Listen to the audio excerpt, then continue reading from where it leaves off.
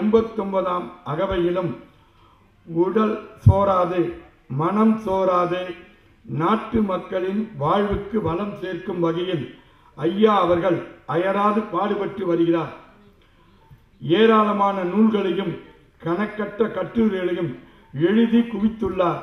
இவரது ஆழ்ந்த சிந்தனைக்கை தங்களது உள்ளத்தில் இருத்திக் கொள்ள இங்கே வந்திருக்கும் உங்கள் அனைவரையும் வருக வருக என இருகரம் கூப்பி வரவேற்கிறேன். இந்த மாநாட்டின் ஒரே நோக்கம் இந்தியாவின் உள்ள முற்பட்ட வகுப்பினர் பிற்படுத்தப்பட்ட வகுப்பினர் ஆகிய எல்லா மதங்களிலும் உள்ளவர்களும் பட்டியல் வகுப்பினரும் பழங்குடியினரும் மத்திய அரசு மாநில அரசு தரும் கல்வியிலும் வேலையிலும் அவரவருக்கு உரிய விகிதாச்சார பங்கீடு பெற வேண்டும். என்பது மட்டுமே ஆகும். அது எந்த வகுப்பினருக்கும் எதிரான கொள்கை அல்ல. இந்த கொள்கைக்கு தமிழர்கள் வாழும் பழைய சென்னை மாகாணத்தை ஆண்ட நீதி கட்சிதான் வழிகாட்டியாகும் நீதி கட்சியினரையும் பிறகு காங்கிரஸ் கட்சியினையும் ஆட்சி செய்த காலத்தில் ஆயிரத்தி தொள்ளாயிரத்தி ஐம்பத்தி நாலு வரையில் அரசு கல்வியிலும் வேலையிலும் மொத்தம் உள்ள நூறு இடங்களில் ஆறு வகுப்பினருக்கும் பிரித்து கொடுத்தார்கள். அதேபோல் இப்பொழுது எல்லா மாகாண அரசையும் நூறு இடங்களையும் பிரித்து அளிக்க எந்த வகையில் அரசியல் சட்ட திருத்தம் வர வேண்டும்? அதேபோல் சென்னை மாகாணம் எல்லாம் எல்லைக்குள் இருந்த மத்திய அரசு அலுவலகங்களில் எல்லாவற்றிலும் மொத்தம் உள்ள நூறு இடங்களையும் ஐந்து வகுப்புகளுக்கும் பிரித்து கொடுத்தார்கள்.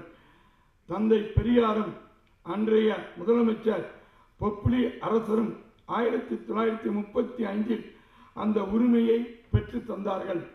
இன்றைக்கு இந்தியாவில் உள்ள எல்லா மதங்களையும் சேர்ந்த பிற்படுத்தப்பட்டவர்கள் ஐம்பத்தேழு விழுக்காடு இருக்கிறார்கள். இவர்களுக்கு மத்திய அரசாங்கத்தில் இருபத்தேழு விழுக்காடுகள் மட்டும்தான் கொடுக்கப்படுகிறது. இவர்களுக்கு ஐம்பத்தேழு விழுக்காடு கொடுக்கப்பட வேண்டும் என்ற வகையில் அரசமைத்து சட்டம் திருத்தப்பட வேண்டும் என்பதுதான் இந்த மாநாட்டின் கோரிக்கையாகும். இந்த மாநாட்டில் நிறைவேற்றப்படும் தீர்மானங்கள் அனைத்தையும் எல்லோரும் ஆதரிக்க வேண்டும் என்று நான் வேண்டி இந்த மாநாட்டில் உரையாற்ற வர இருக்கும் எல்லோரையும் உங்கள் அனைவரையும் மீண்டும் ஒருமுறை அன்புடன் வருக வருக என்று வரவேற்கிறேன். நன்றி.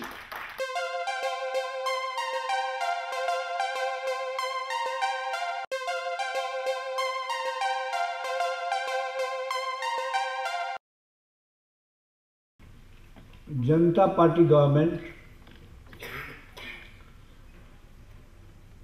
in the Janata party election manifesto has mention to implement Kaka Kalelkar commission report. So when Morarji Desai the then Honorable Prime Minister, delivered his budget speech,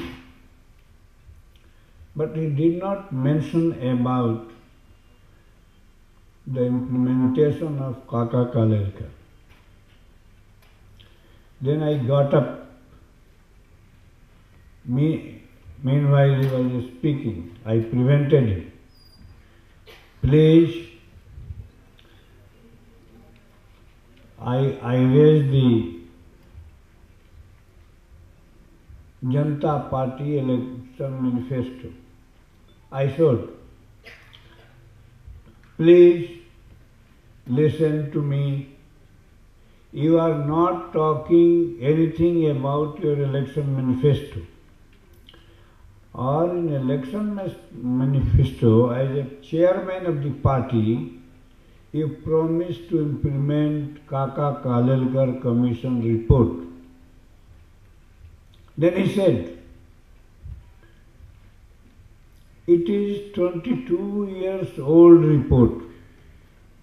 22 years old report. Then I said, when it was tw- 21 years and 6 months later, you mentioned it that you will implement it. Then he bluntly said, all the promises made in the election manifesto are to be implemented. Then I also bluntly replied. I said, you, uh, you are speaking in the Indian Parliament and you are going safe.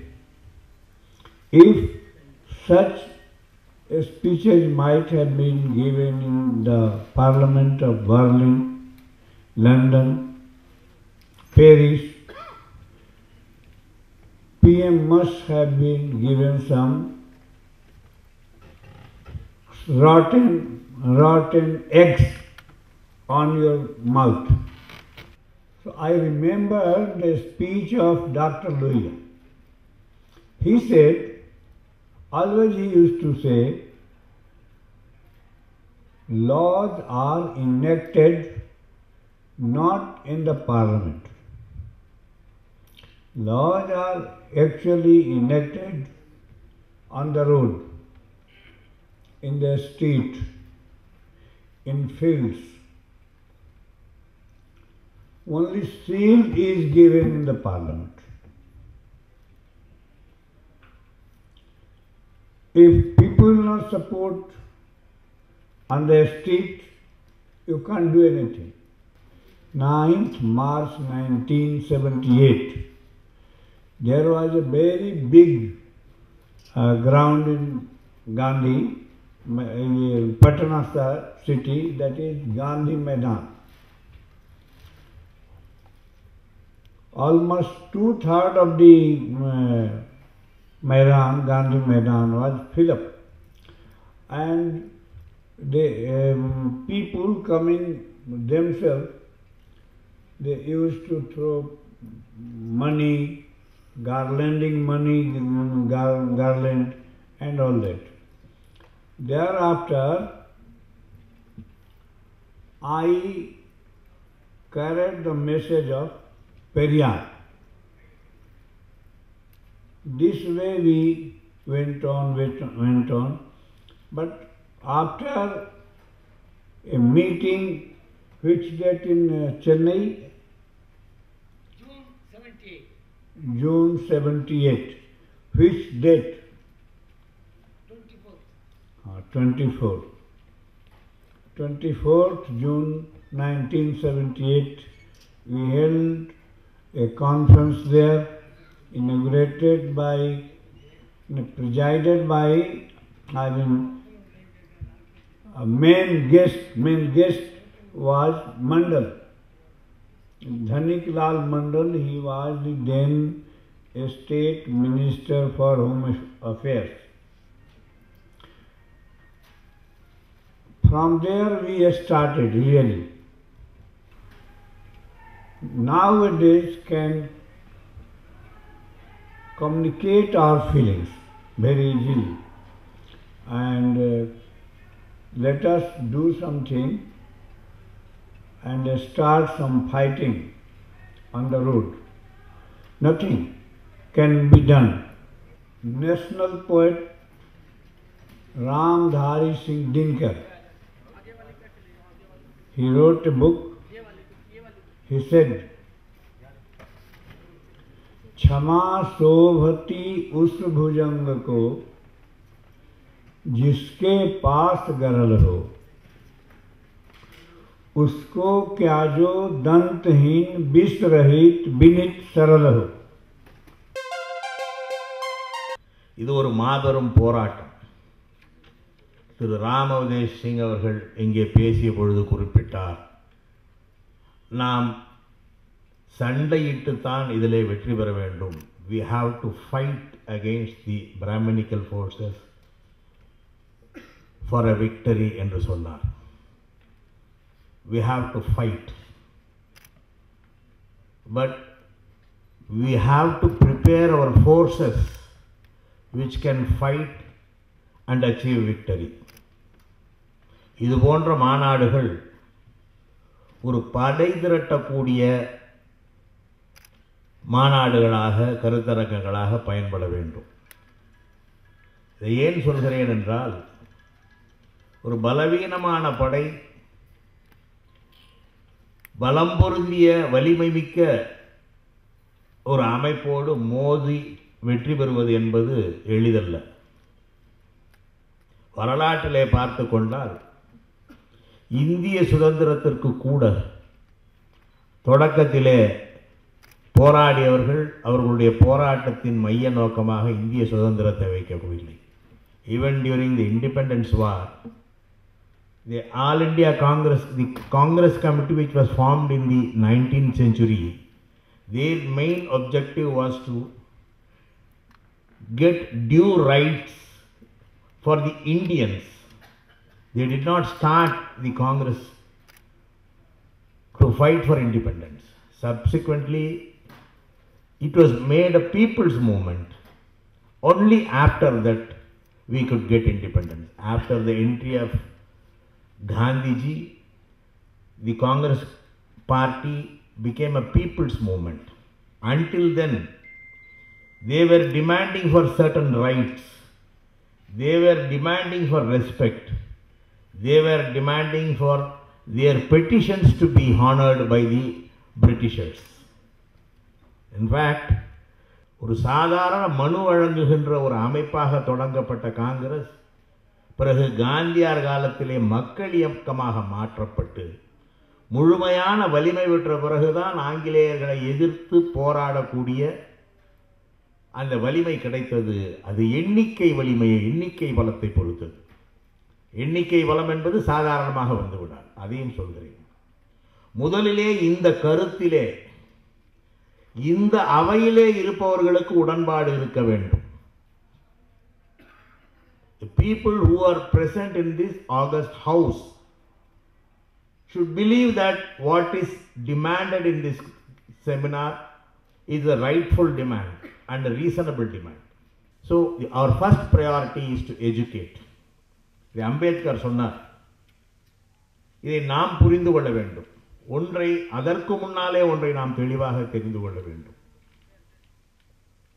every generation has a responsibility towards their successor generation, successive generation.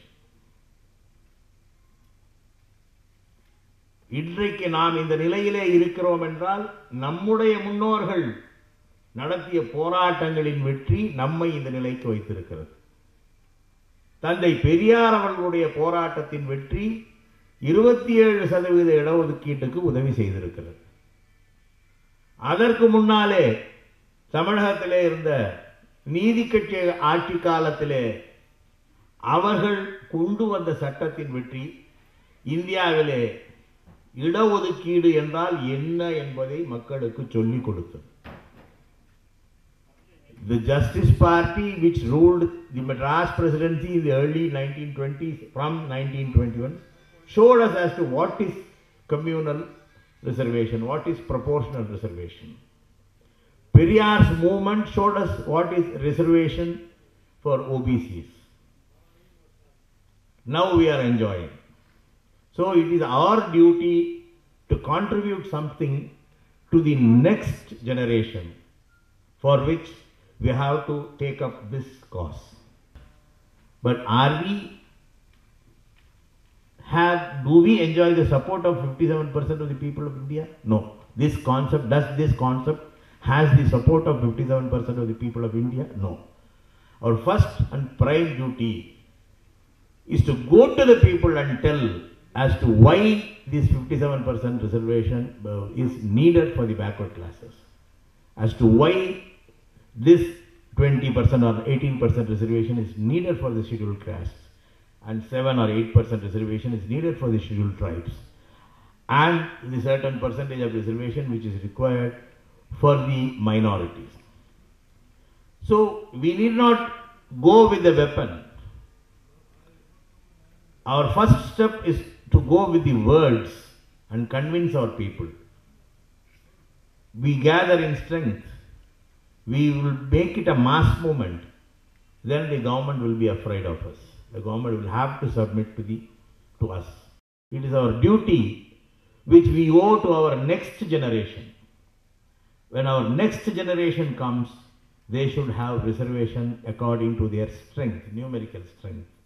हम साठ आदमी खाने वाले हैं साठ रोटियाँ चाहिए मुझे छब्बीस रोटियाँ नहीं चाहिए मुझे मतलब छब्बीस परसेंट मुझे नहीं चाहिए ये ये अब डिमांड होना चाहिए अब रिजर्वेशन को कैसे फ्लक्चुएट किया जा रहा है किस तरह से उसको मोल्ड किया जा रहा है और कितनी तरह की इसमें हर्डल्स हैं उसके बारे में मैं दिल्ली विश्वविद्यालय के संदर्भ में और जवाहरलाल नेहरू विश्वविद्यालय के संदर्भ में बात करूँगा।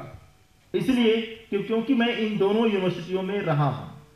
दिल्ली विश्वविद्यालय में मैं पढ़ाता हूँ और जवाहरलाल नेहरू यूनिवर्सिटी से मेरी सारी पढ़ाई हुई एम एस सी तक।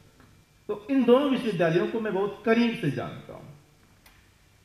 हो क्या रहा है कि 27 परसेंट रिजर्वेशन तो आपको, आप आप अपने को कहते हैं कि 27 परसेंट ओबीसी रिजर्वेशन मिल रहा है आपको। लेकिन सच में आपको 27 परसेंट रिजर्वेशन नहीं मिल रहा है। कई डाटाज हैं आपके सामने। आपको जो ग्रेड वन जो सर्विसेज़ हैं, उसमें आपकी जो भागीदारी है, वो मात्र दो तीन परसेंट का है। ग्रेड टू में थोड़ा ज़्यादा। ग्रेड थर्ड में थोड़ा ज़्यादा। और उससे ज़्यादा फोर्थ में है।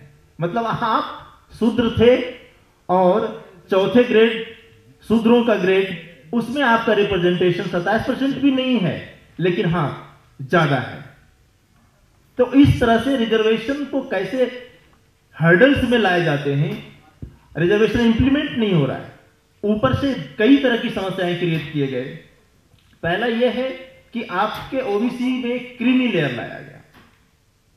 क्रीमी लेयर एक ऐसी समस्या है जिसमें कि आप क्रीमी लेयर ला दिया आपने कि ढाई हज़ार जिसकी ढाई लाख रुप जिसकी जिस पिताजी की सालाना इनकम होगी वो एडमिशन लेंगे या वो इस रिजर्वेशन को एक्सरसाइज करेंगे। आज की स्थिति यह है कि ओबीसी एक तरफ़ ढाई लाख जो एक, एक कैप्शन रखा गया है उसमें ऐसे कई लोग जो है वो आ नहीं पाते और आ भी रहे। इस कारण से आप अधिक से अधिक संख्या में छट जा रहे हैं। मतलब ये है कि आप अगर मान लीजिए कि क्रीमी लेयर के अनुसार ही एडमिशन ले लीजिए दिल्ली विश्वविद्यालय में तो आपकी सीटें नहीं भरेगी। ज़रूरत यह है कि क्रीमी लेयर की आज की तारीख में कोई ज़रूरत नहीं मुझे लगती इसलिए कि 27 परसेंट रिजर्वेशन जब भरा जा रहा हो, जब ओवरफ्लोट किया रहा हो मतलब ज़्यादा विद्यार्थी आ रहा हो तब क्रीमी लेयर की बात होनी चाहिए थी। अभी तो हमारे विद्यार्थी सताइस परसेंट पर नहीं मिल रहे हैं दिल्ली विश्वविद्यालय और जेएनयू में। तो फिर आप क्रीमी लेयर ला रहे हैं। बावजूद इसके, एक तो ये हर्डल्स है। दूसरे कि आपने अगर एडमिशन ले लिया दिल्ली विश्वविद्यालय और जवाहरलाल नेहरू यूनिवर्सिटी में तो आपको एडमिशन तो मिल जाएगा, लेकिन असाइनमेंट में अटेंडेंस में आपके मार्क्स कम कर दिए जाएँगे। उनके पास ये मैकेनिज्म है। आप भले उस टीचर की जाति नहीं जान पाएँगे, लेकिन वो टीचर आपकी जाति जान लेगा। भले आपके नाम के आगे कोई टाइटल भी नहीं है, फिर भी आपकी जाति को वो जान जाएँगे। और जानने के बाद वो इस तरह से आपका पर कतरेंगे इस तरह से आपको वो कमज़ोर करेंगे कि आप ग्रेजुएशन के पहले साल में ग्रेजुएशन के दूसरे साल में, ग्रेजुएशन के तीसरे साल में जाते जाते आपकी परसेंटेज और आपकी जो जो जो परसेंटेज होनी चाहिए, वो जितना होना चाहिए, उतना हो नहीं पाएगा। आप फ्रस्ट्रेट हो जाएँगे, आप परेशान हो जाएँगे, आप इतने दबाव में रहेंगे और इसी कारण से ओबीसी के जो बच्चे हैं, दलित जो बच्चे हैं, वो सुसाइड कर रहे हैं। सुसाइड पर अगर रिसर्च किया जाए कि सुसाइड कौन लोग कर रहे हैं इंस्टीट्यूशंस में किनके साथ रैगिंग हो रहा है अगर इस बात को आप गौर से देखें तो आपको पता चलेगा कि रैगिंग में ज्यादा जो विक्टिम हो रहे हैं मैक्सिमम विक्टिम जो हो रहे हैं वो दलित हैं पिछड़ी जाति के लोग हैं और रिलीजियस माइनॉरिटीज के लोग हैं இடஒதுக்கீடு என்பது சமுதாயத்தில் அழுத்தப்பட்ட பகுதியை சார்ந்த மக்களுக்கு கல்வி மற்றும் வேலைவாய்ப்பில் ஓரளவு இடங்களை ஒதுக்கி காலப்போக்கில் சமுதாய சமத்துவத்தை ஏற்படுத்துவதே. அனைத்து நாடுகளிலும் உதாரணமாக அமெரிக்கா தென்னாப்பிரிக்கா Malaysia Ilangai Britain Bosnia Brazil போன்ற நாடுகளிலும் பல்வேறு வகையில் இட இடஒதுக்கீடுகள் உண்டு. ஏன் இந்த இடஒதுக்கீடு? என்ற கேள்வியை எழுப்பினால் கல்வித்தரம் குறைந்து இருந்தாலும் வேலை வாய்ப்பு தொழிலில் கீழமை நிலையில் இருந்தாலும் வருமானத்தில் வறுமை கோட்டின் எல்லையில் கஷ்டப்பட்டாலும் இந்த இடஒதுக்கீடு ஒரு முக்கியத்துவம் கொடுத்து சமத்துவத்தை மேம்படுத்தும். மக்கள் தொகை அடிப்படையிலும் சமுதாய அடிப்படையிலும் இடஒதுக்கீடு கொடுக்கப்பட வேண்டும் என்பது கருத்து.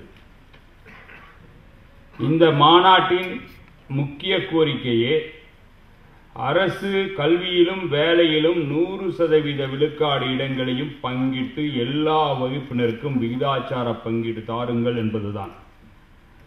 அதன்படி இந்து இஸ்லாமிய சீக்கிய கிறிஸ்தவ பின்பற்றப்பட்ட வகுப்பினருக்கு ஐம்பத்தி ஏழு பர்சன்டும் இந்து இஸ்லாமிய சீக்கிய கிறிஸ்தவ முற்பட்ட வகுப்பினருக்கு பதினேழரை பர்சன்டும் பட்டியல் வகுப்பினருக்கு பதினேழு பர்சன்ட்டும் பட்டியல் பழங்குடி வகுப்பினருக்கு எட்டு பாயிண்ட் ஐந்து நூறு பர்சன்ட்டும் இதில் அனைத்து வகுப்பினருக்கும் உரிய ஒதுக்கீடுகள் கொடுக்கப்பட்டுள்ளன.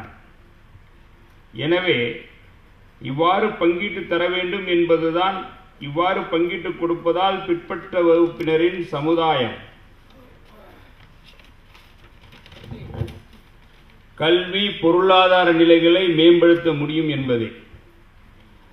டாக்டர் அம்பேத்கர் அவர்கள் எப்படி இருபது வருடங்களுக்கு முன்னால் இந்திய அரசியல் சாசன சட்டம் வருவதற்கு ஊன்றுகோலாக இருந்தார்களோ அதே போல் நாமும் நன்றாக படித்து நல்ல பதவிகளில் உயர்ந்து நின்று நாட்டிற்கும் நம்மை சுற்றி உள்ளவர்களுக்கும் ஊன்றுகோலாய் இருந்து உதவி வர வேண்டும் என்பதே நமது நோக்கம். உச்ச நீதிமன்றம் ஆயிரத்தி தொள்ளாயிரத்தி தொண்ணூத்தி ரெண்டில் மண்டல் கமிஷன் தீர்ப்பின் மூலம் இடஒதுக்கீட்டை அங்கீகரித்தது. அதன்படி அரசியல் சாசன சட்டம் விதி பதினைந்து நாளின்படி மாநில அரசுக்கு சமத்துவ நிலைமையை மக்களிடையே மேம்படுத்த விகிதாச்சார பங்கீடு கொடுக்க உரிமையுள்ளது. விதி பதினாறு நாளின்படி வேலை வாய்ப்பிலும் மாநில அரசு மத்திய அரசுகள் பங்கீட்டை கொடுக்கலாம். காலம் காலமாக பொருளாதார நிலையில் தாழ்ந்து உள்ள மக்களுக்கு இடஒதுக்கீடு கொடுப்பது பற்றி யாரும் உணர்வதில்லை. அடக்கப்பட்ட ஒடுக்கப்பட்ட தலைமுறைகள் மேலெழுந்து வர வேண்டும் என்பதற்காகவே இடஒதுக்கீடு கொடுக்கப்படுகிறது. எல்லா சமூகத்தினரும் எல்லா நிலைகளிலும் முன்னேற வேண்டும் என்பதே இதன் நோக்கம். இன்றும் பல்வேறு பகுதிகளில் பாகுபாடுகளை பார்க்கிறோம். அந்த பாகுபாடுகள் களையப்பட வேண்டும். களைந்தால்தான் நாடு முன்னேறும் நாமும் முன்னேறுவோம். மாணவர்கள் இடஒதுக்கீட்டை பொறுத்த அளவு இடஒதுக்கீட்டு இடம் கிடைத்தால் நன்றாக படிக்க வேண்டும். ஆனால் யாரும் படிப்பதில்லை. கொடுக்கப்படக்கூடிய வாய்ப்பை நல்ல முறையில் அவர்கள் ஏற்றுக்கொள்ள வேண்டும். பெற்றவர்களும் குழந்தைகளை நன்றாக படிக்க வைக்க வேண்டும். நன்றாக படிக்கின்ற மாணவர்களுக்கு கல்லூரியில் இடம் கிடைக்கின்றன. நல்லாக படிக்காத மாணவருக்கு கல்லூரியில் இடம் கிடைப்பதில்லை. நன்றாக படிக்கின்ற மாணவன் இடம் அவனுக்கு இடம் கிடைப்பதென்றால் அதில் எந்தவித ஆச்சரியமும் இல்லை. ஆனால் ஏன் நன்றாக படிக்கவில்லை? உரிய வசதிகள் இல்லை. உரிய வகையான முன்னேற்றத்திற்குண்டான ஏற்பாடுகள் இல்லை. அப்படி கொடுத்தாலும் அவர்கள் படிக்க வேண்டும். நன்றாக ஒடுக்கப்பட்ட தாழ்த்தப்பட்ட சமூகத்தினர்கள் முன்னேறி அனைவரும் சமத்துவத்துடன் விளங்க வேண்டும் என்பதே இடஒதுக்கீனுடைய நோக்கம். எனவே அனைத்து பெற்றோர்களும் குழந்தைகளும் கடினமாக உழைத்து நன்றாக படிக்க வையுங்கள். இடஒதுக்கீட்டில் கிடைக்கக்கூடியவற்றை மதித்து ஐயா அவர்கள் இந்த வயதிலும் இவ்வளவு தூரம் கஷ்டப்பட்டு பாடுகிறார்கள் என்றால் அதற்கு ஒரு அர்த்தம் வேண்டும். அந்த அர்த்தத்திற்கு மாறாக நன்றாக படிக்க வேண்டும். யாரும் படிக்காமல் இருந்தால் நிச்சயம் அவர்கள் கொடுக்கக்கூடிய அவர்கள் படக்கூடிய கஷ்டங்களுக்கு எந்த ஒரு விடிவாளவும் இருக்காது. ஒரு வீட்டிற்கு ஒருவர் படித்து நல்ல வேலையில் இருந்தாலே போதும். நிச்சயமாக அந்த குடும்பம் முன்னேறும். Even one person has to study in the house and to come in a life in a good position definitely it should be treated that the entire family should grow the person who studied in a higher level will take care of everybody we are not only for us we are for all of you we improve ourselves we will also allow all of you to improve the reservation is only mean to make it an equalize in all status of economy, education and life and social status. The people are in a downtrodden position from the very, very beginning. Even you go to the remote village, they have not been treated as a equal with others. Why? Even some of my juniors have come here and my Ananda Krishnan is there, Muthu Krishnan is there and other friends are there. Even Mr. Swami Mala is there and Mr. Mudramalingam is there, so many people are here. And everybody should know, we should give an opportunity to the people to come up. But when the, you are getting an opportunity, you have to utilize that opportunity to come up definitely. If you are not doing it, is there is a failure on the part. தந்தை பெரியார் विशेष रूप से ये कहा करते थे, और आप सब जानते हैं कि उनका नियम था कि वो नित्य दो घंटा अपना संबोधन, अपना भाषण कहीं न कहीं अवश्य करते थे। और उनका कहना था कि अगर हम सौ लोगों के बीच में अपने विचार रखते हैं और उन सौ में एक आदमी भी, एक व्यक्ति भी उन विचारों को ग्रहण कर लेता है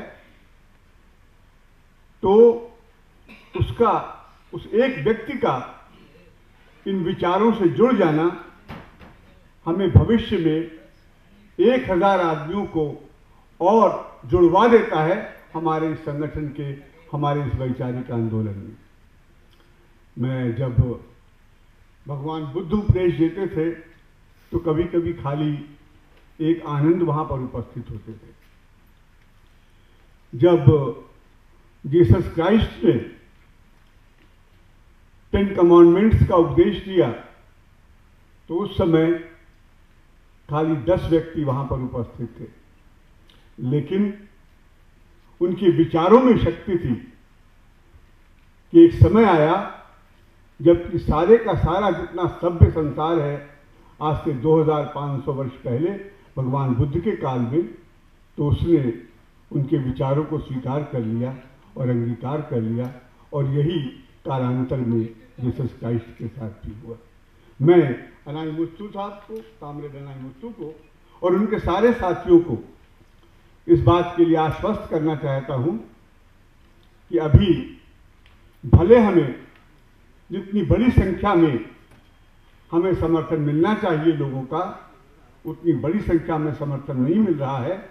लेकिन उनके अथक प्रयासों से और उनके इस आंदोलन से निश्चित रूप से वो समय आएगा, जबकि हमारा जो पिछड़ा वर्ग और सर्वाधिक पिछड़ा वर्ग और उससे जुड़े हुए जो हमारे धार्मिक अल्पसंख्यक और अनुसूचित जाति और जनजाति के लोग हैं, वो एक सूत्र में आबद्ध होंगे और अपने उन अधिकारों को प्राप्त कर सकेंगे, जिसकी परिकल्पना एक बहुत बड़े आंदोलन में तंदे पेरियार ने महात्मा फुले ने, डॉक्टर अंबेडकर ने और हमारे तमाम साथियों ने जिसकी परिकल्पना की थी। वो अवश्य हमें प्राप्त होगा।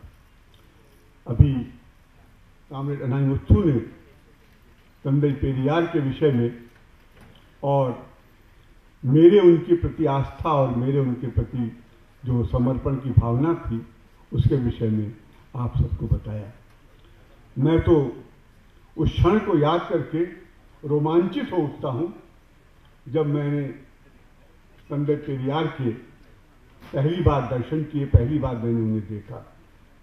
और लखनऊ विश्वविद्यालय में जिस सभा में उन्होंने मेरे निमंत्रण को स्वीकार कर लिया आप इससे स्वीकार कर आप इसे जान सकते हैं कि कंदे पेरियार के अंदर कितना बड़ा महापुरुष छिपा हुआ था कि मेरी आयु आयु उस समय मुश्किल से 19-20 साल की रही होगी आई वॉज़ जस्ट 19 और 20 years old at that time. But Tande Periyar was happy to accept my invitation, you know. मुझे कितना बड़ा कितना कितना कितने कितने बड़े रोमांच का अनुभव हुआ होगा। I was not only stunned you know but it was it was a utter surprise to तो उसके बाद जो है वो वहाँ पर गए और वो उनकी बहुत सफल सफल मीटिंग थी। जो उनका पहला वाक्य था वो मैं आ, आपको बताना चाहूँगा। उन्होंने जैसा अभी कामरेड मुस्तू ने आप सबको बताया कि उन्होंने जो है वो कैसे उन्होंने जो उनकी अवधारणा थी राम और ईश्वरवाद के प्रति वो उन्होंने वहाँ पर व्यक्त की। उनका पहला वाक्य था संबोधन के के, के मध्य। बल्कि संबोधन का ही पहला वाक्य था कि कड़बुल इल्लैया इल्लै और इसके बाद जब उन्होंने बोलना शुरू किया तो जो वहाँ के सारे बुद्धिजीवी छात्र थे वो एक प्रकार से रोमांचित हो उठे। क्योंकि वो पहले व्यक्ति थे तंदे पेरियार, जिन्होंने वहाँ पर कहा कि आदमी को कहीं भी, किन्हीं भी, किसी भी डॉगमा से बंद करके नहीं रहना चाहिए नौजवानों को। नौजवानों को स्वतंत्र चिंतन से काम करना चाहिए। किसी को इस बात से नहीं बनना चाहिए कि वो किसी परिवार में पैदा हुआ है, किसी जाति में पैदा हुआ है, किसी धर्म में पैदा हुआ है। और या किसी संप्रदाय में पैदा हुआ है मनुष्य को जो है ये सोचना चाहिए कि सत्य क्या है सच्चाई क्या है और वो सिद्धांत क्या है जो मनुष्य और मनुष्य में वैषम्य उत्पन्न करने वाली विचारधारा को समाप्त कर सकते हैं और சிங்களஞ்சேர் தென்னாட்டு மக்கள் தீராதி தீரரின் ரூது சங்கே பொங்கு தமிழர்க்கு இன்னல் விளைந்தால் சங்காரம் நிசமெனச் சங்கே முழங்கு.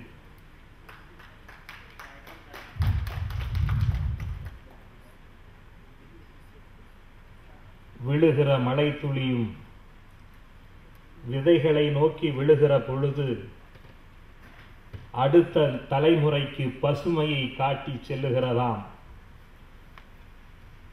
ஐம்பது ஆனாலேயே உடலை தளர்த்தி கொண்டு மதுக்கடைகளிலே மயங்கி கிடக்கிற தலைமுறைகள் இருந்து கொண்டிருக்கும் பொழுது தொண்ணூறு வயதும் எட்டிய போதும் இன்னும் பத்தொன்பது வயது இளைஞர் போல இந்திய துணைக்கண்டம் முழுவதும் சுற்றி பிற்படுத்தப்பட்ட ஒடுக்கப்பட்ட மக்களின் முதுகெலும்பை நிமிர்த்தியாவேன் என்று சொல்லி என்னை உள்ளிட்ட வழக்கறிஞர்களை உருவாக்கியிருக்கிற மானமிகு ஐயா ஆனைமுத்து அவர்களே இந்த கூட்டத்திற்கு வட இந்திய பேரவையினுடைய தலைவர் அவர்களே பொறுப்பாளர்களே டெல்லியிலே இருக்கிற எங்கள் மண்ணின் தொடர்புகளே இந்திய துணைக்கண்டம் முழுவதும் இருக்கிற தேசிய இன மக்களே அனைவருக்கும் என்னுடைய வணக்கத்தை தெரிவித்துக் கொள்ளுகிறேன். ஆயிரத்தி எட்நூற்றி முப்பத்தி நான்கில் தாமஸ் பெயிங்டன் மெக்கல்லே என்பவன் சென்னை கடற்கரையில் வந்து இறங்கினார். அப்பொழுது பதினைந்து குண்டுகள் முழங்க அவரை வரவேற்றார்கள். அவர் வந்த நோக்கம் இனி இருநூறு ஆண்டுகால பிரிட்டிஷார் ஆட்சியை எப்படி வழிநடத்துவது?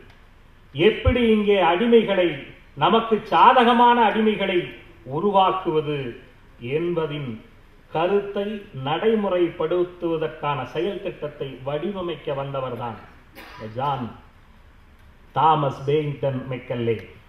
அவர் வந்தபொழுது கவர்னர் வில்லியம் பெனண்டிங் கோடை விடுமுறை காரணமாக ஊட்டியிலே இருந்திருக்கிறார். அப்பொழுது இவரும் ஊட்டிக்கு பயணித்திருக்கிறார். நான்கு பேர் இவரை பல்லக்கில் வைத்துக்கொண்டு பதினோரு நாட்கள் மைசூர் பெங்களூர் வழியாக ஊட்டியை சென்றடைந்தார்கள். அன்றைக்கு தூக்க ஆரம்பித்த அந்நியர்களின் ஆங்கில மோகத்தை இன்று வரை இறக்கி வைக்கவில்லை. அதே போல இரண்டாயிரம் ஆண்டு காலமாக மூளையிலே தூக்கி வைத்துக் கொண்டு சாதிய கொடுமைகளை ஆதிக்கத்தையும் ஒடுக்கத்தை ஒடுக்கப்பட்ட மக்களின் இருக்கிற அந்த இழி நிலையை இரண்டாயிரம் ஆண்டு காலமாக ஆரியர்கள் விதைத்த அந்த விதையும் இவர்கள் மூளையிலே சுகந்து கொண்டிருக்கிறார்களே. அந்த அந்த ஒடுக்கப்பட்ட நிலையையும் பிற்படுத்தப்பட்ட நிலையையும் முழுமையாக மாற்ற வேண்டும் என்கின்ற எண்ணத்தில் பேரவையைச் சேர்ந்த தோழர்கள் இந்தியா முழுவதும் வளம் வந்து கொண்டிருக்கிறார்கள். இங்கே வந்தவுடனே பார்த்தேன். பதாகையிலே முதல் எழுத்து புதுடில்லியில் என்று இருந்தது. அப்படி என்றால் இந்த புதுடில்லி என்கின்ற சொல்லுக்கு எப்பொழுது முழுமை வந்தது? நூறு ஆண்டுகளுக்கு முன்பு. ஆயிரத்தி தொள்ளாயிரத்தி பதினொன்றில் ஐந்தாம் ஜார்ஜ் மன்னன் தன்னுடைய பட்டமளிப்பு விழாவை இந்தியாவில் பல கோடி ரூபாய் செலவு செய்து இங்கே கொண்டாடினார். இந்தியா முழுவதும் இருந்து குறுநில மன்னர்கள் வந்தார்கள். கவிஞர்கள் வந்தார்கள் ஓவியக் கலைஞர்கள் வந்தார்கள். அப்படி தமிழர் என்று சொல்லடா தலை நிமிர்ந்து நில்லடா என்று சொன்ன நாமக்கல் கவிஞரும் அந்த அந்த பரிசு பெற்ற ஓவியரில் ஒருவர். அவர் வந்தபோது ஒரு ஆணையை வெளியிட்டார். இந்த ஆண்டு முதல் ஆங்கிலேயனுடைய தலைநகராக புதுடில்லி விளங்கும் என்று. அந்த புதுடில்லிக்கு தேர்வு செய்த இடம் இந்த பகுதி புதுடில்லி பகுதிதான். ஆனால் அவர்கள் உருவாக்கிய கட்டடங்கள் இருந்த இடம் எது தெரியுமா? ஒரு சீக்கிய கிராமமாக இருந்த ரைசினா பின் என்கின்ற ஒரு சீக்கிய கிராமத்தை அழித்துத்தான் பல நூறு குடும்பங்கள் இருந்த சீக்கிய கிராமத்தை அழித்து ஒற்றை குடியரசு தலைவர் தங்குகிற ராஷ்டிரிய பவன் குடியரசுத் தலைவருடைய இல்லத்தை அமைத்தார்கள். முன்னூற்றி முப்பது ஏக்கர் முன்னூற்றி நாற்பது அறைகள் கொண்ட அந்த குடியரசுத் தலைவர் இல்லத்தை அமைத்தார்கள். ஏன் சொல்ல வருகிறேன் என்றால் ஒரு கிராமத்தையே அழித்து ஒரு சிலர் தங்குவதற்காக ஒரு அரண்மனையை உருவாக்கி இருக்கிறார்கள் புதுடில்லியில். அப்படித்தான் இந்திய துணைக்கண்டம் முழுவதும் இருக்கிற பிற்படுத்தப்பட்ட ஒடுக்கப்பட்ட மக்களை ஒதுக்கி வைத்துவிட்டு சில சில ஆதிக்கத்தன்மை கொண்டவர்கள் மட்டும் மேல்நிலை கல்வியிலும் மேல்நிலை பதவிகளிலும் ஆண்டு கொண்டிருக்கிறார்களே அதை குறிப்பிடுவதற்காகத்தான் இதை கூறினேன். ஆகவே பெரியோர்களே நமக்கு வாய்த்த தலைவர் அறிஞரவே ஆணைமுத்து நாம் எல்லோரிடத்திலும் நெஞ்சை நிமிர்த்தி சொல்லக்கூடிய தலைவர். அந்த தலைவரை அவர் சொன்ன கருத்துக்களை ஏந்தி வருகிற தலைமுறை நீண்ட பயணம் செல்லும். நம்முடைய எண்ணங்கள் அவருடைய எண்ணங்கள் அனைத்தையும் வெல்லுவோம். அவர் விதைத்த அந்த சமூக சிந்தனை விதைகளை நெஞ்சில் தாங்குவோம். விதைப்பவர்கள் உறங்கலாம். விதைகள் உறங்காது. வாய்ப்புக்கு நன்றி. இந்த இடஒதுக்கீடு என்பது என்னுடைய புரிதலின் அடிப்படையில் இந்த சமுதாயமானது ஒரு கோட்பாட்டை நிர்ணயித்து வைத்திருக்கின்றது. ஆறு வயது உள்ள உதாரணத்திற்கு ஆறு வயது உள்ள ஒரு மாணவனும் பதினைந்து வயது உடைய ஒரு மாணவனும் ஓட்டப்பந்தயத்தில் கலந்து கொள்ள வேண்டும். யார் முதலில் வருகிறார்களோ அவர்களுக்கு வெற்றி பரிசு. இதுதான் இன்றைய அரசாங்கத்தின் கொள்கையாகவும் இட விகிதாச்சாரத்தின் அடிப்படை நோக்கமாகவும் இருக்க வேண்டும் என்று அரசாங்கம் விரும்புகிறது. ஆனால் உண்மையில் அங்கு ஒரு சமதர்மம் ஏற்படுமா? ஆறு வயது மாணவனும் பதினான்கு வயது மாணவனும் அவர்களுடைய உடல் வலிமை மன வலிமை பயிற்சி இவற்றின் அடிப்படையில் அவர்கள் ஓட்டப்பந்தயத்தில் சரியான முறையில் சரியான தகுதியை நிர்ணயிக்கும் ஒரு தீர்வாக நிர்ணயமாக இருக்க முடியுமா? இங்குதான் இட விகிதாச்சாரம் ரிசர்வேஷன் என்பது அடிப்படை அவசியமாகிறது. It is only with inspiration that we can all move forward and come ahead. Otherwise, we will always stay backward. Backwardness is not only socio-economically defined or even educationally defined. These are ultimately a problem, a symptom of something that has gone wrong in our minds. So, unless there is a mindset change, in some other ways they say worldview, if we don't change our, in Hindi we'll say drishtikon, our perspective, our way of looking at things, then nothing will change. The world, we will see the world the same way and we will stay backward. So a lot of people wonder why this magazine, which focuses on the issues of all the backward peoples, all the backward, okay, the 85%, 90% even, why is it called forward? It is because it is forward thinking. My editorial is called forward thinking. When we say he is a forward thinker, it means that somebody is looking ahead. We have to look back at our history to understand our roots, as Sunil Sardarji was saying before lunch. Unless we know our roots and we own our roots, we cannot have any fruit. And this is very, very important. So, I have not that much to add. All I have to say is that Forward Press, on a regular basis, including in the latest issue, publishes the statistics as far as possible up to date. We put our own RTIs, we make use of other people's RTIs, and we try and give the most up to date statistics on what is the true situation of reservation in this country. And we break it down into different sectors.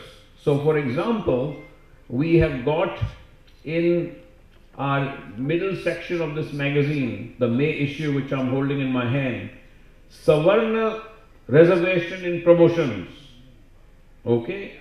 That in UP, OBCs and SCs have virtually no representation in all the categories of government service. Now, this will be amazing, but it is almost the opposite as if the Savarn, the upper castes, are having some kind of reservation quota, which is more than 50% in UP service. So we keep emphasizing these kinds of things. So there is nothing to disagree with here.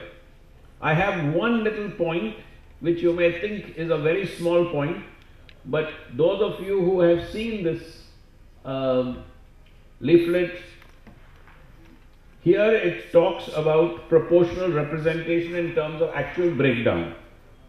And it says to OBCs 57%. I have no disagreement there. It includes in that Hindus, Muslims, Sikhs, Christians and other religious minorities in brackets. In forward castes, it includes in the 17.5% Hindus, Muslims, Sikhs, Christians and other religious minorities. Again, there I have a little bit of problem. Yes, among each of these groups, particularly the religious minorities, there are so-called upper caste groups. They are a minority among the minorities.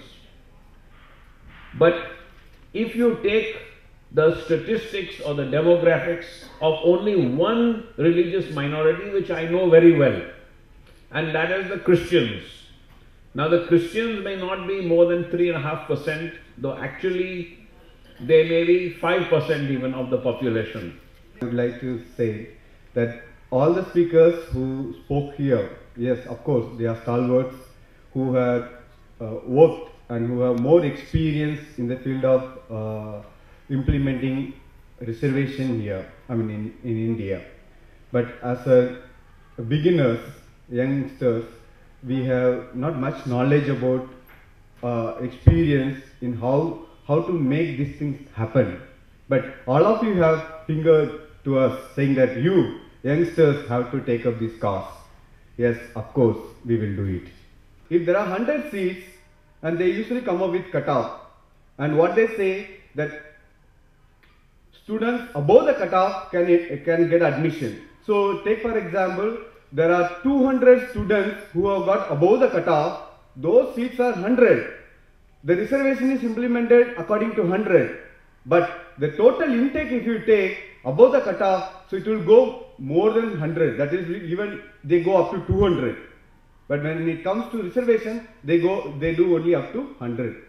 So through our struggle, I mean maybe I joined it recently, but uh, uh, Amarjit, Amar, Singh, Amar Singh ji and Kedar and we have other professors who are in the campus who struggle, who have, who have been fighting on this issue for a long time and which we are taken up now.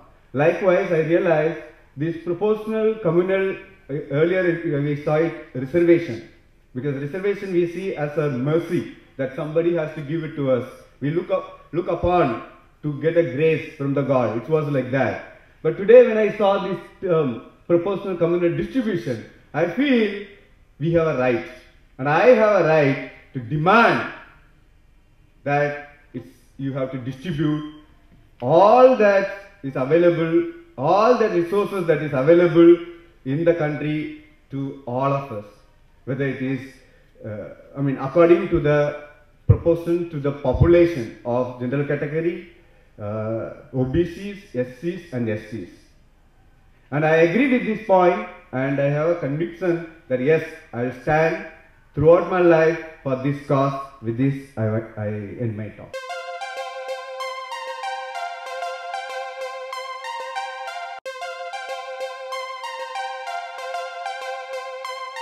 The All India Federation of Backward Classes, Scheduled Castes, Scheduled Tribes and Religious Minorities was established in 1978 August at Madras. Myself, Comrade Ram Singh and others took a tour in southern states, met several leaders belonging to backward classes, scheduled caste, and different religious leaders and then assembled at Madras and established this federation. It was established in 17, 1978. What are, what were the achievements of the federation?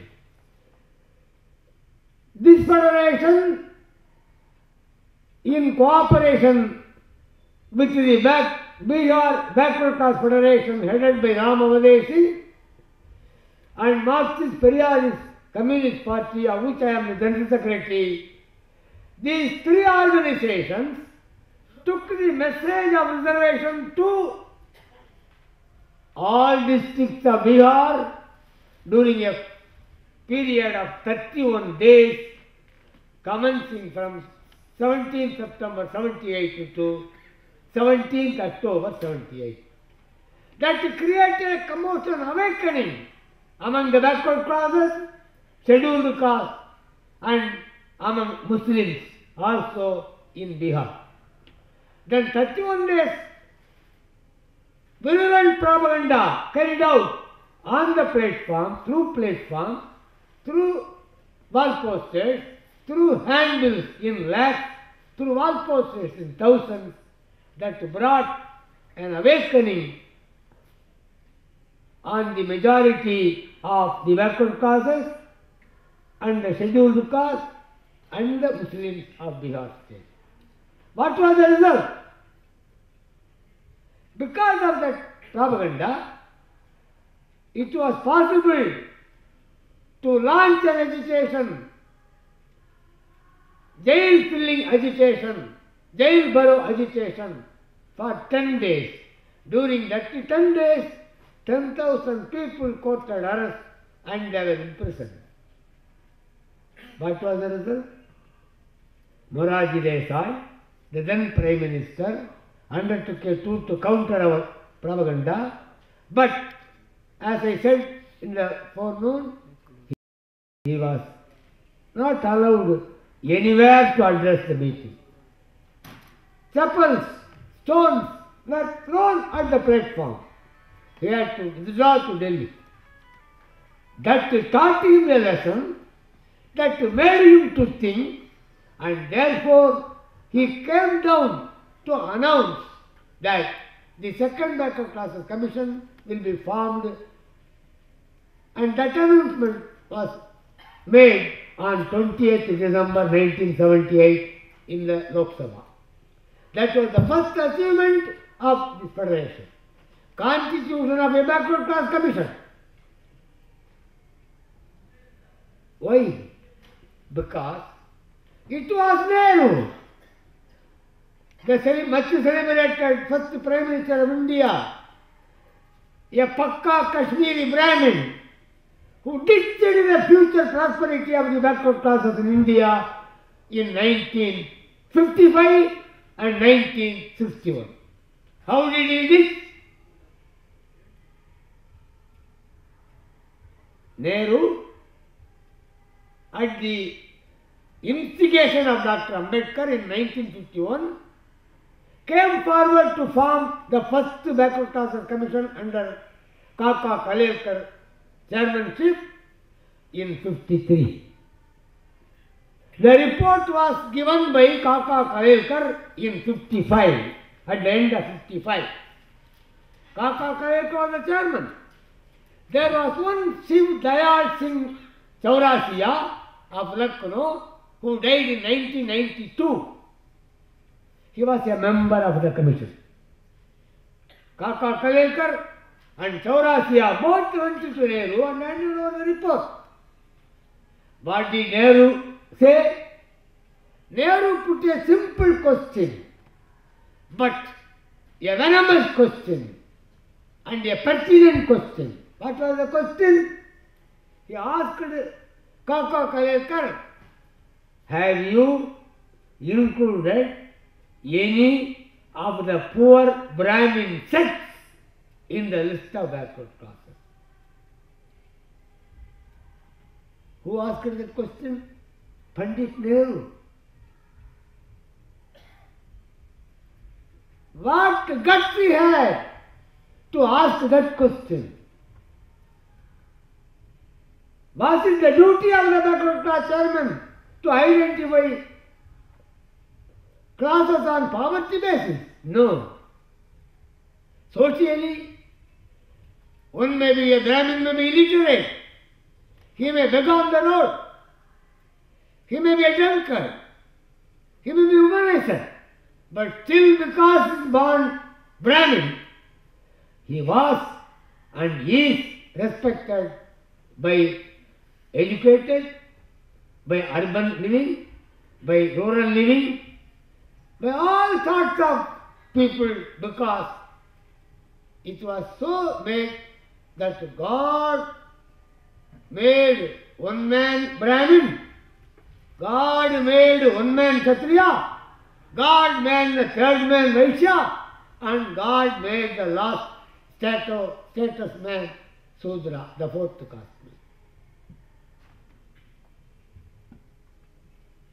Therefore, Nehru, who had educated in London, along with King George V, who was a boy then, that Nehru began to think that he was a Brahmin by birth.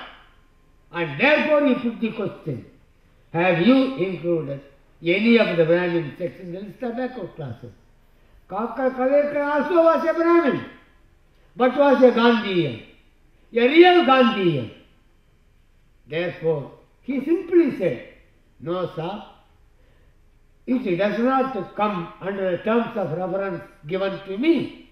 I can't do that. I can't include any of the upper caste, any of the Brahmins, because they are poor. What did happen? Nehru threw the report on the ground in the presence of Kaka Kalekar and S.D. Singh Saurasia. I, did, I have not met Kaka Kalekar, but it was on 7th May 1978. I delivered a speech, an inaugural address at the UP Class Convention under the leadership, chairmanship of Saurasia.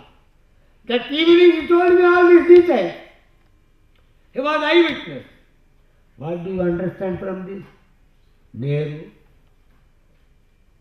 who had received education in foreign countries, who had experience, uh, travelled widely all over the world, he thought that he was a Brahmin by birth. And he developed a special interest in the advancement of the Brahmins. This is one thing.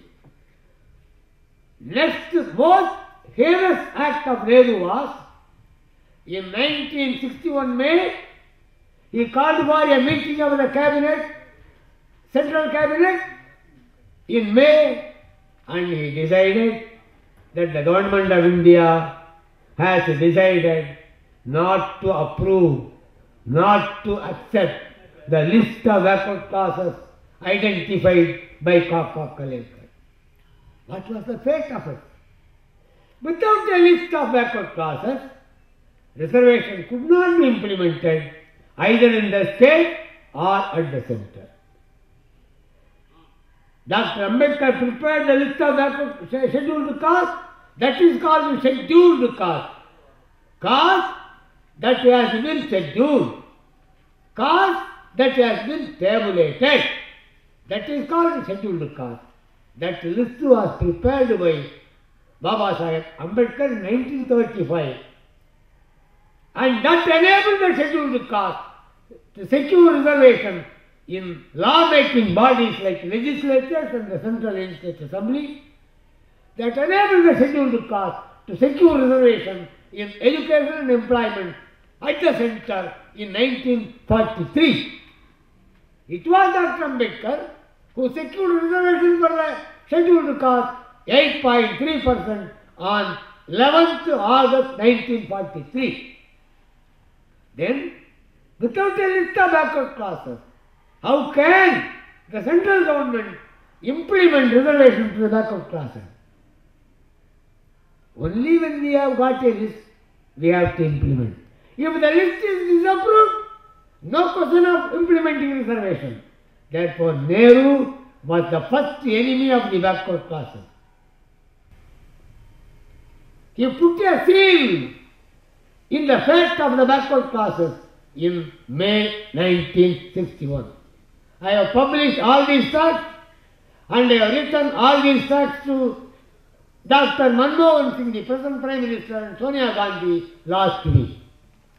With authority, sufficient authority.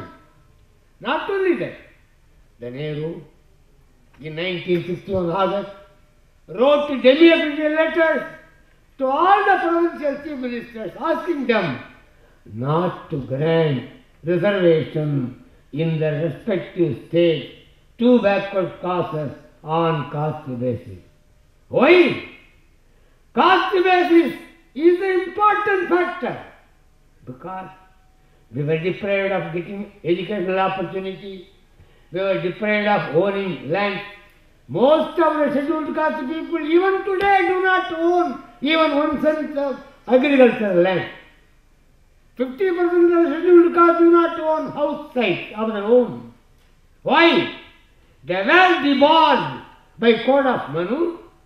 They were deprived by Code of Manu that they should not own anything valuable. Anything valuable. They should remain laborers. They serve in the fields of the upper caste. Their body is their property.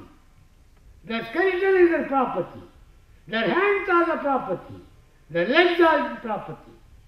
Nothing other than that as the property of the scheduled caste man. Therefore, they could not rise up. They could not get awakening because of lack of education. Therefore, Nehru did the second inimical step in 1961 August. You imagine, please, all of you youngsters and the old people, imagine, suppose he had granted reservation in 1961 to backward classes. How great, what great achievement would have occurred to the backward classes in India long back, 61? How many years before? Therefore, such a heinous act, criminal acts were done by Nehru. What was the result?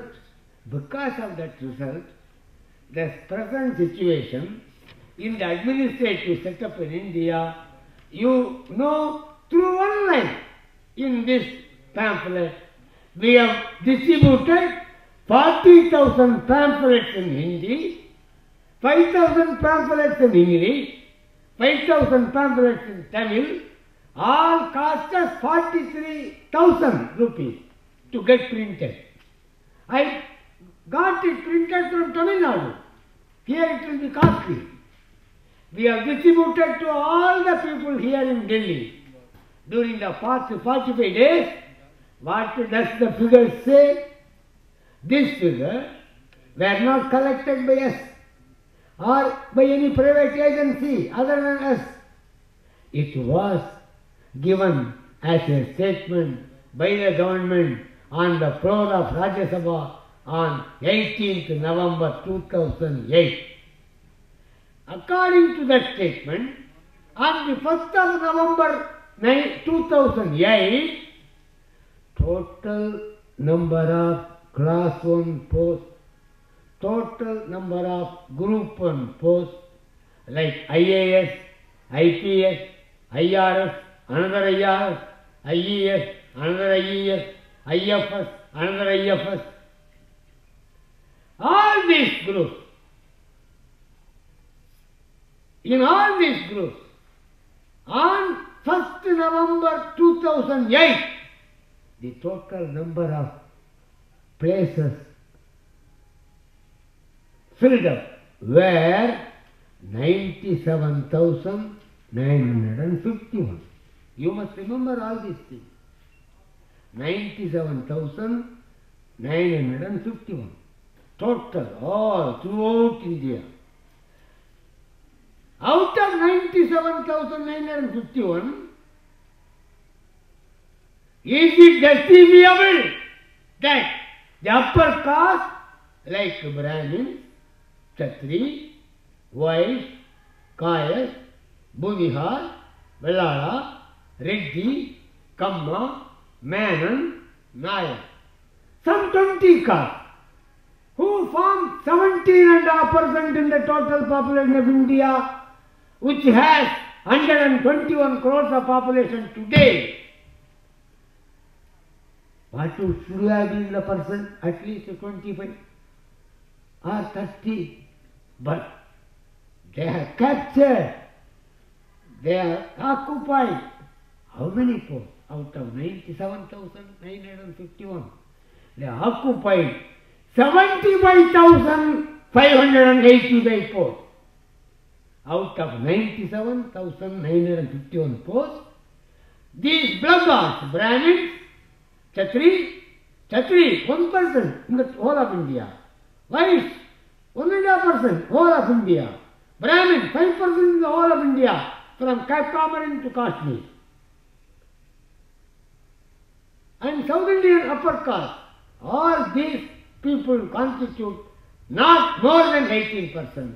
These people have captured out of 91, 97,000, 70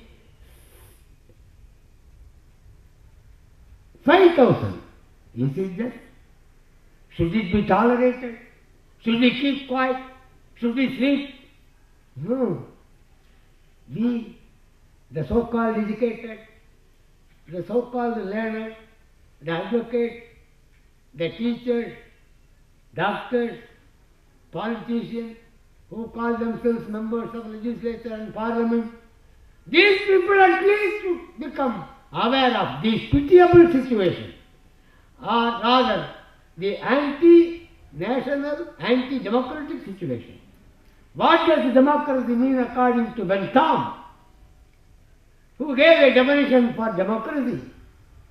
Bentham described the greatest good of the greatest number is the essence of democracy.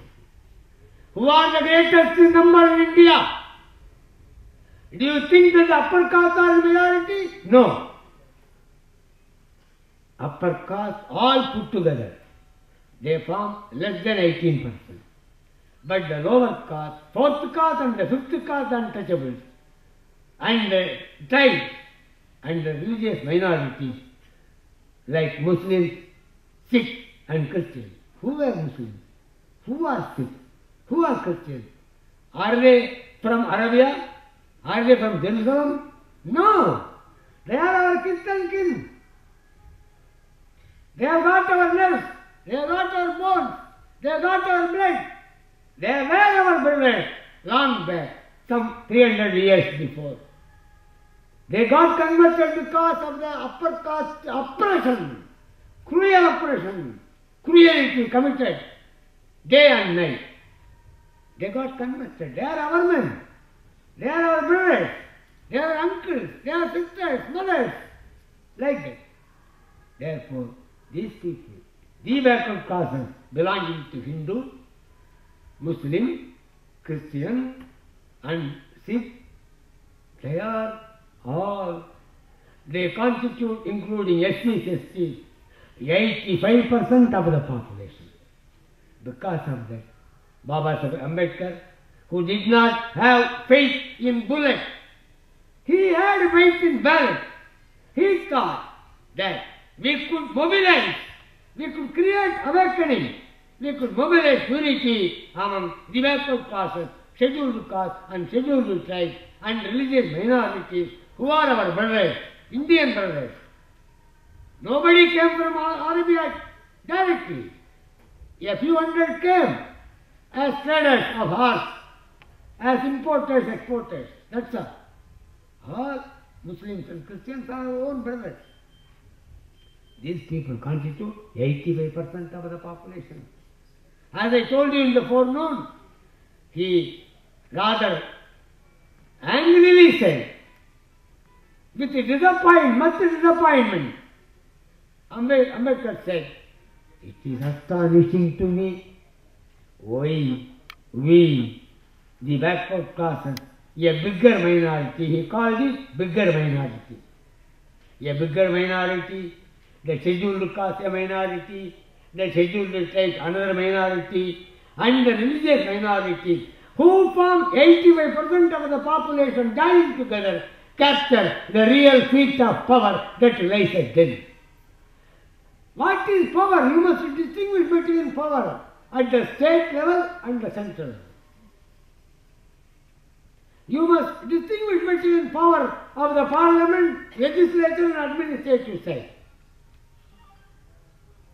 Parliament is vested with powers to make laws. Making laws is done by parliament members, but most of the parliament members are ignorant of law. They have never gone through the bills. They have never participated in passing the bills. No debate takes place for days and hours together on any bill. Without taking into consideration, without debating in the parliament, they pass laws within one hour or ten minutes. Hundred laws in ten minutes. Hundred laws in one hour. Hundred laws in one day. Because why? The parliamentarians have become irresponsible. More, some of them are totally ignorant of the constitutional provisions. They don't know what is constitution. I know directly some MPs have not seen the text of the constitution. The book, yeah, they have not, never seen. Such is the pathetic condition of parliament. That parliament, the state legislature, is vested with making laws, passing bills, that's all. Who is implementing? It is only the IAS officer. An IAS officer, according to the Britishers' laid norm, the collector of a district is the governor of the district. What does it mean? There may be a chief minister elected by the people, but the governor of the state dictates the government. He can recommend for dissolution of the government. What does it mean? Governor is all powerful, not the chief minister. He may be elected. This man, governor, is political appointee, appointed by politicians, prime ministers, ruling party people. Likewise, it is not, collector post is not like that. He is selected through examination, through qualification. That selected man really rules India. Gandhiji, when he returned after the second roundtable conference in London, he issued a statement in Argent paper. What was the statement? He stated in his statement, Oh, India is not ruled by the Governor General. India is not ruled by the provincial governor. It is the 250 ICS officers. Present day IAS was designated as ICS, Indian Civil Service. This is Indian Administrative Service. The ICS officers, they are the real rulers. They are the eyes, they are the ears, they are the spies of the government of India. Really, they rule India. You be aware, be cautious. These were the words of Mahatma Gandhi in 1932. 32. Likewise, these 97,951 IAS, IPS officers, they are the real rulers in that machinery. It is a machinery, administrative machinery. In that machinery, what is the share of scheduled caste? Scheduled caste has been enjoying reservation in central services, as I told you, from 1943 August. How many years? More than 70 years had been enjoying. After 70 years, scheduled caste who are eligible today to get 15% had secured only 12%. Why? Because of the shoddy, faulty implementation of the Meritorious candidates to SCs are uh, shuttled into reservation quota. Why? Meritorious SC must go into the general pool. Meritorious BC must be put into the general pool. Less meritorious BC, less meritorious SC only should be uh, put into the reserve quota. Because of the tardy implementation, tardy implementation, faulty implementation, scheduled castes remain with the 12%, though they are eligible for 15%. We, the Federation, had been demanding 17% for scheduled castes from 1993. Are you aware of this fact? Which party claimed it? Which party demanded it? Our Federation demanded it. Now it is demanding. Likewise, scheduled tribe, they are thrown out of the main stream of life. They are in hills, they are mountains, they are forests. Away, far away from the mainstream. And they are deprived very much in education. Those who are Christian, they are highly educated among the tribe. Those who are not Christian, they are less educated, poorly educated among the tribe. What do understand? It is not the MP, it is not the MLA, it is not the ministers who are ruling the nation. It is the administrative higher officers, group 1, group 2 officers at the central level, group 1 and group 2 RDO, DSP, like group 1 officers at the state level, they are the real rulers of the nation. Now we want that we, the greatest number, should secure our due share in all administrative sector and also in judiciary. Judiciary is the second enemy of the downtrodden classes. Because out of about 700 judges in the High Court, 21 High Courts in India, less than 100 are backward, scheduled and scheduled tribe, three put together. Only less than 100 out of 700 High Court judges. What is the fun? Where will be jud- judici- justice? How can we expect justice from the High Court? You can't. Out of 31 judges in the Supreme Court, how many belong to SC? No SC up to today. I think so. I may be correct or wrong. No SC. Some one or two BC may be there. I am not definite. But in High Court, out of 700 judges today sitting, there are less than 100 judges. Then how will judiciary go in favor of the backward classes or scheduled caste? No. On any issue. Suppose land acquisition issue. Who are affected? The small peasants belonging to backward classes. They are affected much. In rural part. But what does judiciary say? No, for public purposes. Or for the economic prosperity of a nation. For MNCs, thousands and thousands of acres may be uh, acquired by the government by force. Not even issuance of 4A, 4A notice. Without issuing any notice, they simply publish in papers, advertise in papers, daily papers. One fine morning they come and say that they have come to acquire so so and so's land. What is the fun? Therefore, judiciary is our second, third enemy. Vital enemy, important enemy. It was the judiciary which said in 1963 that the total quantum of reservation to BC, SC, ST, to all three segments to remain always under 50. Who asked those fellows to say that? They are our paid servants. What examination did a judge write? IAS fellow wrote examination. IAS fellow appeared for interview. What examination did High Court judge write? No. They have got a group called collogium. That means the thieves select themselves as greater thieves, bigger thieves. That's all. Therefore, judiciary is our one of the main enemies. Therefore, all of us must think. Reservation is not the solution for unemployment. We don't say that. Reservation alone will not solve the employment problem, unemployment problem. No! It will not bring in prosperity to every family. Yes. But what is the real secret lying in it?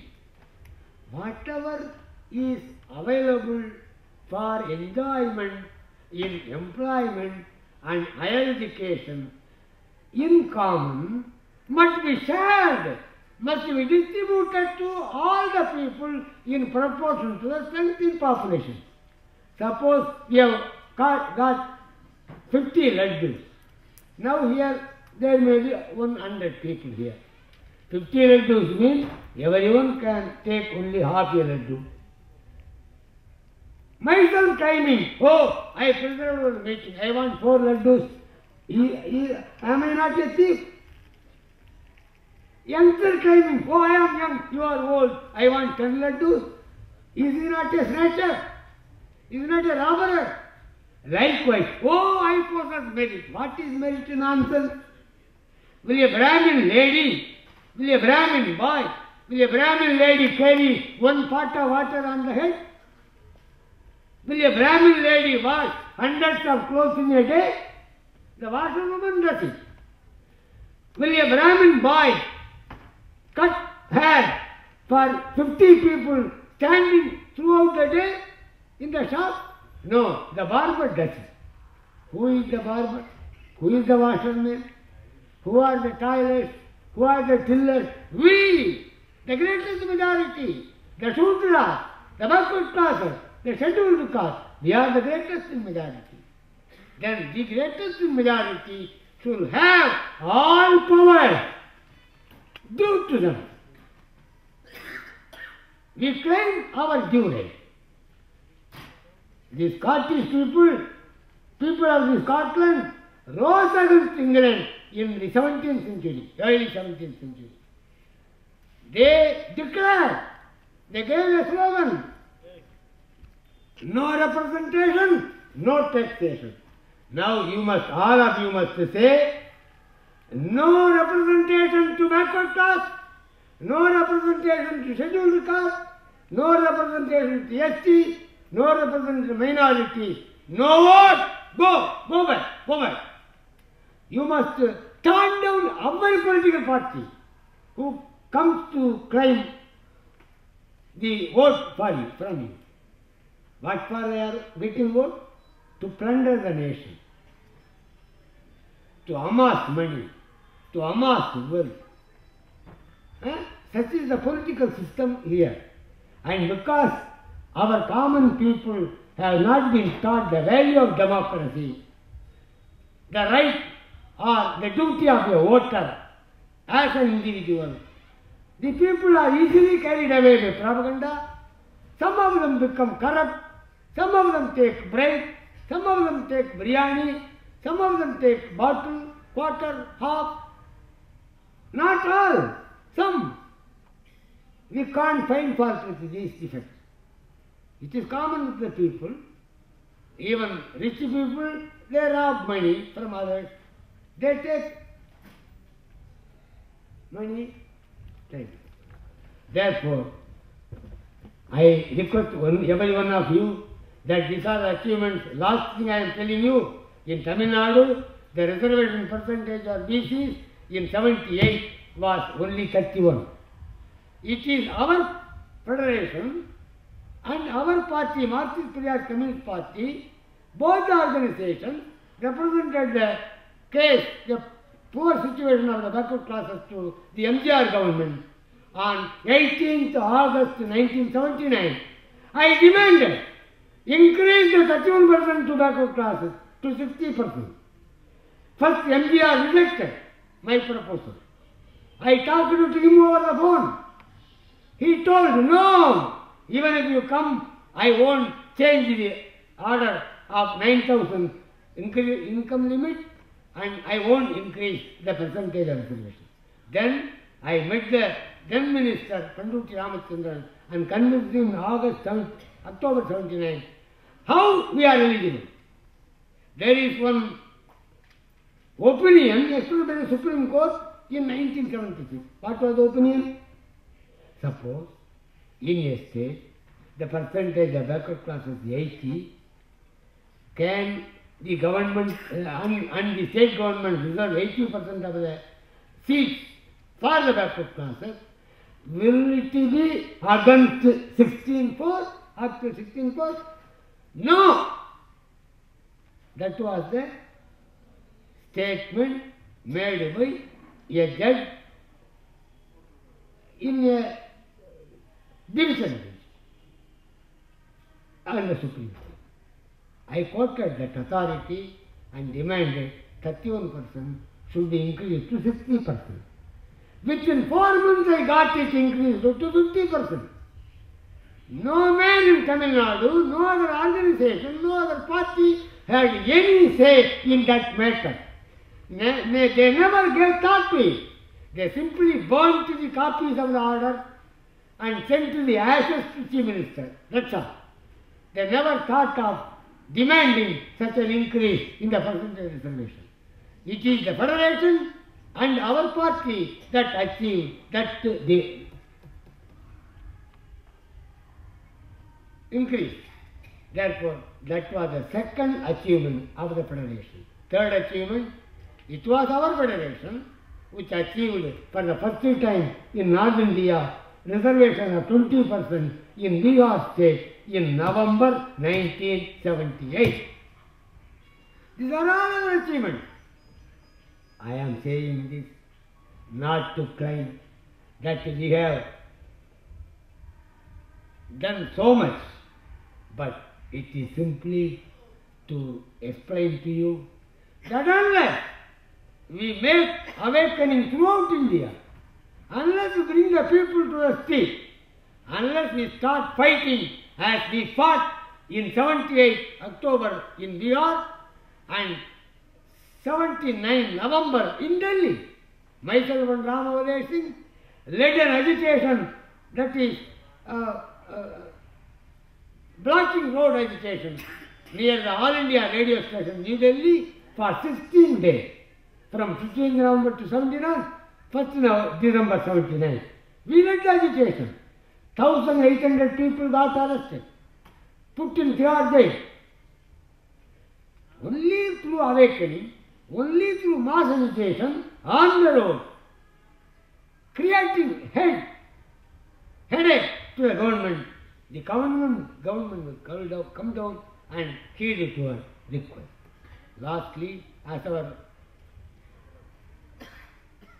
editor of the paper told, we must fight for reservations in private education institutions and private enterprises. It is a must.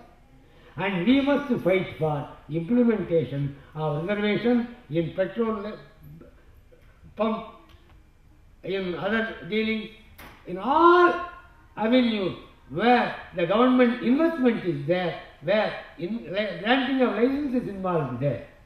Therefore, with great effort, all of you, Delhi University comrades, Supreme Court Advocate comrades, Periyar, Ambedkar Service Society comrades, which was founded in 2008, they had ho- extended total cooperation during the past 48 days.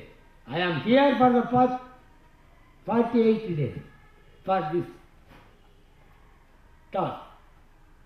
I, I am thankful to you and to the chairman, secretary, general secretary and executive committee members, general body members of the Tamil Sangam for having given this hall for holding the convention. And you all come from the morning 11 a.m. and sitting here till 6 p.m. with uh, responsibility, with the calmness and listen to what all we said here.